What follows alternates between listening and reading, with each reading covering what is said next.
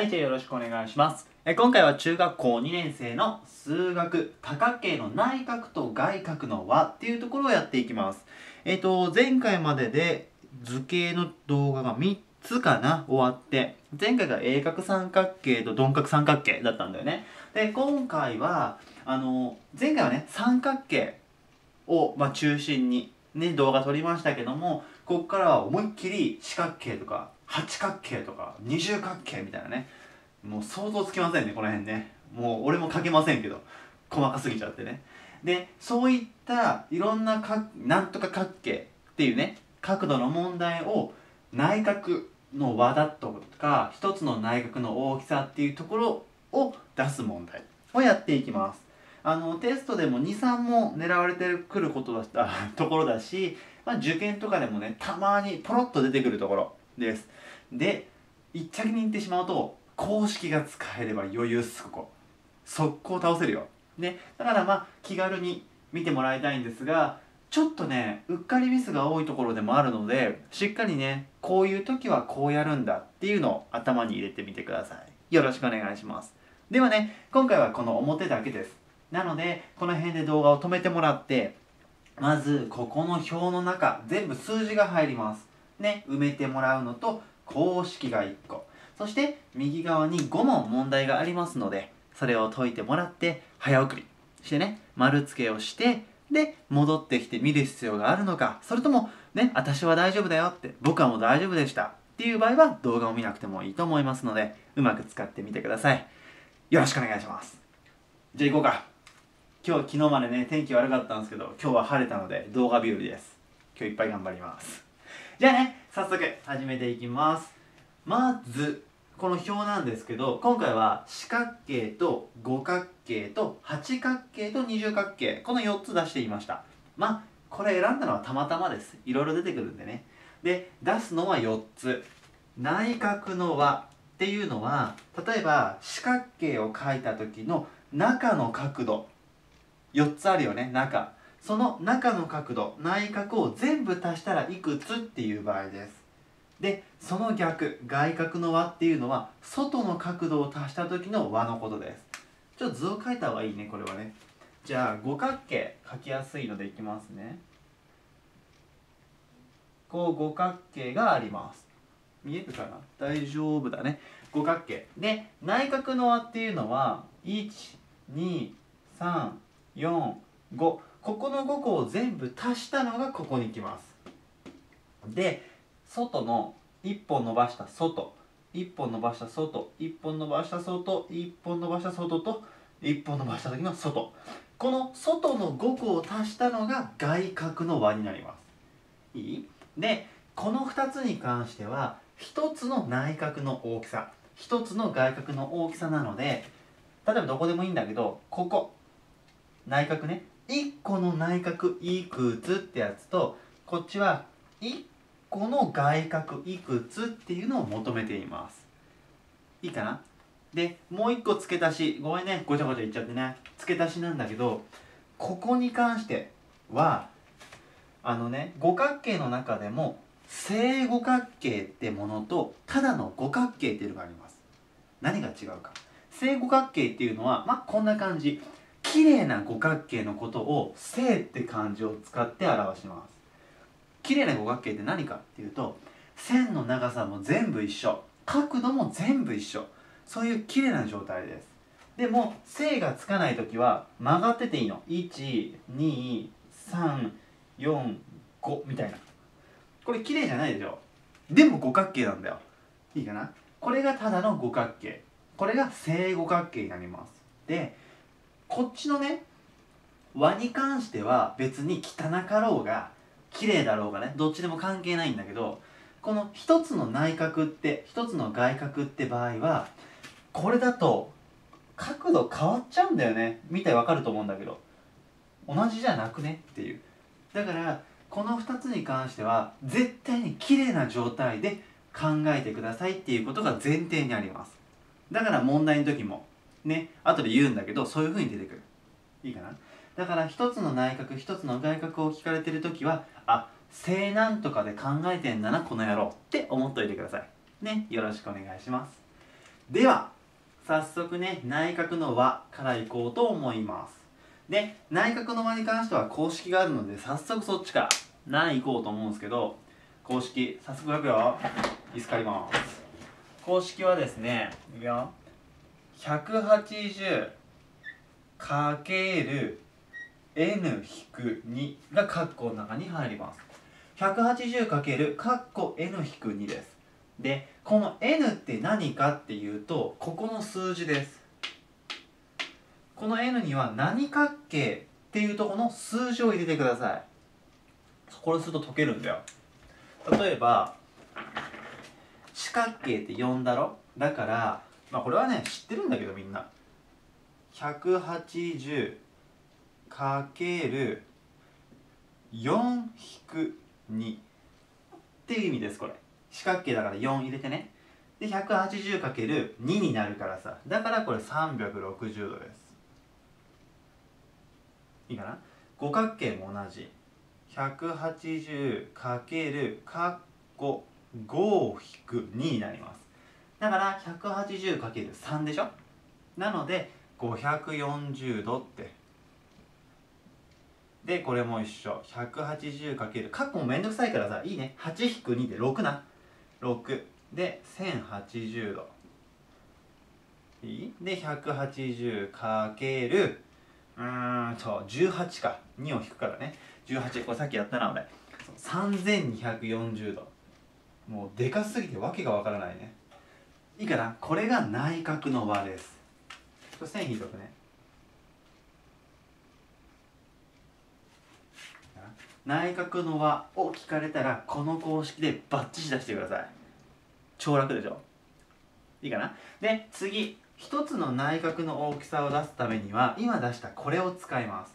なぜか。ちょっとイメージしてほしいんですけどまずここからいくね。五角形。せっかくあるので内角の和が540度。つまり中のやつを全部足すと540なんだよ。今中のやつな。で五角形って全部で角度がね名前通り5個あるじゃん。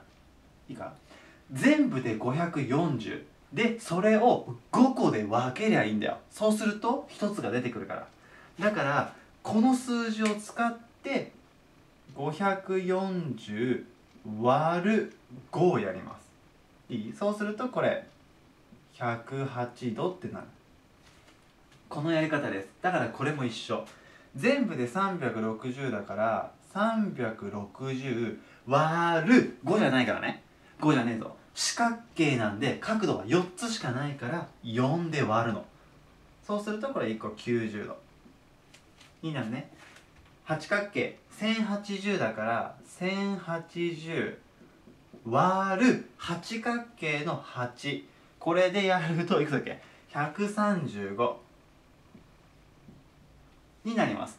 そして最後も出てきた3240割る二十角形の20です。ってやると162度っていう感じになります。いいかな？これがまず今2個やって終わったよ。これで。こういう感じねでポイントなのはねこっちってさ公式だから引く2をするでしょ。二十角形なんだけど計算する時18になるじゃん。でもこっち20なんだよ。いいよね。今の説明が全てなんだけどちゃんとイメージして覚えておかないとごちゃごちゃすんだよね。でごちゃごちゃしちゃえば絶対得点取れないんだここ。その辺がちょっとトラップだよね。気をつけなきゃいけない罠になってます。だから内角の和いい？内角の和を出す時はこの公式なの。一つの内角を出したかったら内角の和を出してからのいい。割るんだよ。和があるじゃん。全部の和があってそれを角度で分ければいいんだよねって。っていうイメージを持って計算してください。いいかな？大丈夫かい？さあではでは。内角終わりましたね。内角終わると超楽です。外角は。なぜならいきますよ。外角の和計算とか何もないです。360度。点々点々点々です。はい終了。ね。外角の和に関しては何角形になろうが絶対変わらないんです。360度固定です。ありがたいねこれはね。覚えやすいからね。でもこれ180って書くんだよね。間違えちゃうんだよ。気をつけてな。360だからね。これで終わり外角の和で一つの外角の大きさっていうのは、まあ、さっき言ったところのここだね。一つの外角。でこれも同じでね。じゃあ五角形からいくよ。さっき内角の和を5個で分けたらこれになったでしょ。じゃあ外角の和も一緒。360を内角が5個なら外角も5個しかないからね。同じだから。だからこの360を5で分けてあげればいいじゃんって。割る5いい。でやるとこれ72かなっていう感じになる。でこのやり方でいくと360を四角形だからね。4で分ける。90度360を八角形で分けるから8でそう45度。で最後。360を10きたな。20で分けるから18度と。こうやって分けてあげてください。いいかな？これが内角の和一つの内角。外角の和一つの外角の出し方です。いいかな？でこれがねこれがマスターした状態でテストで出てくるのはこっちな。あんまり表示は出てこないのでこのパターン出てきます。でいくよ。この5問倒しに行きます。まず1番。六角形の内角の和は？と聞かれたので おっと内角の和か楽勝ですよ。ってことで公式いきます。内角の和は？180× これ引く2な。六角形の6ね。でこれ計算すると720度。はい終了。いいね。これだけです。次正九角形の一つの内角の大きさは一つの内角ね。出すためには内角の和が必要じゃんか。で必要なので九角形って 180×9-2 でしょ？で出すとちょっと下でいい？あーあと856だから。1260か。でこの60を9個で分ければいいから9で分けるお出したなさっき分けるからこれが140度となります。本当はねもう一個簡単な出し方あるんだけど今はこっちでいこう。でこれがマスターできてからね簡単な学校先生とか教えてくれるから簡単なやつ。ねでもこれが一番大事なものなのでまずこっちでごめんね固定しちゃってね。で次。内角の和が2160なのは何角形？はいこっからちょっとレベルが上がる。レベルが上がるっていうかこの表とちょっと変わってくる。問題ね。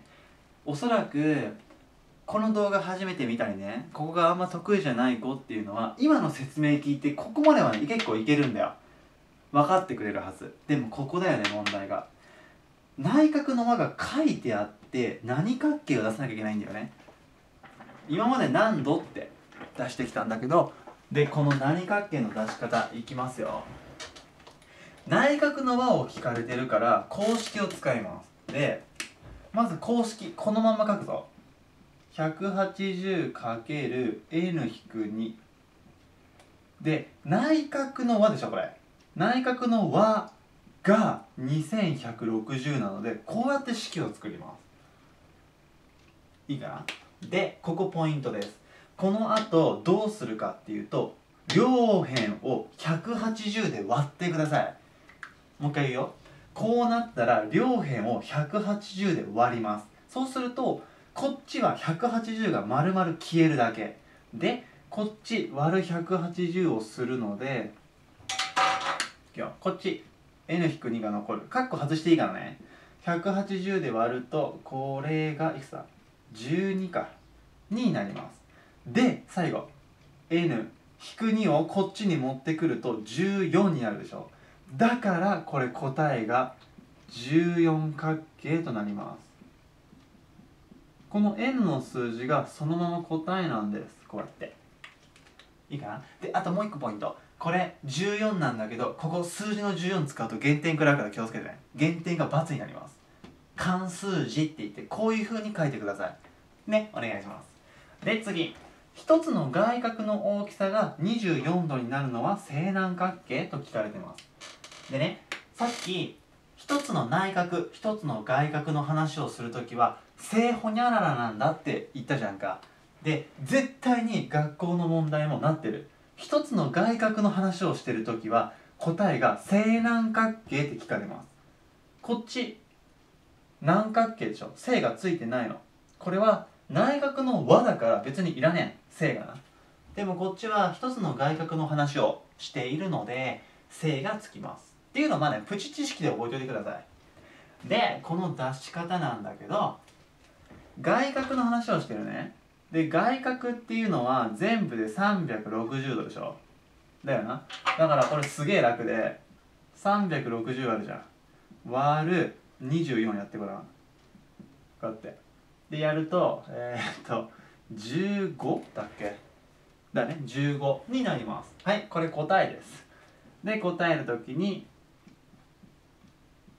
15角形と書くと×になっちゃうのでなぜか。ね。正の文字で聞かれてんだから答えも正がつきます。正15角形です。いい。正抜くと×になるから気をつけてね。大丈夫かな？こうやってやります。で最後。一つの内角の大きさが144度。の時に正南角形って聞かれてるんですがこれね学校の先生とか、まあ、塾の先生でも一つの内角の時もう出し方が分かれますちょっと。で俺は今から教えるやり方が好きなのでそっちでいくからね。ちょっと先生と違うなって思ったらごめんな。パニクらせたらね。で一つの内角内角で勝負するとねちょっと面倒くさいんだよ。だからこれ話を変えます。一つの内角がこれだったら一つの外角は36度になります。これ同じなんです。かっこはいこれなぜか。ちょっといきますね。ここ消します。これすごく大事な知識なんで覚えてね。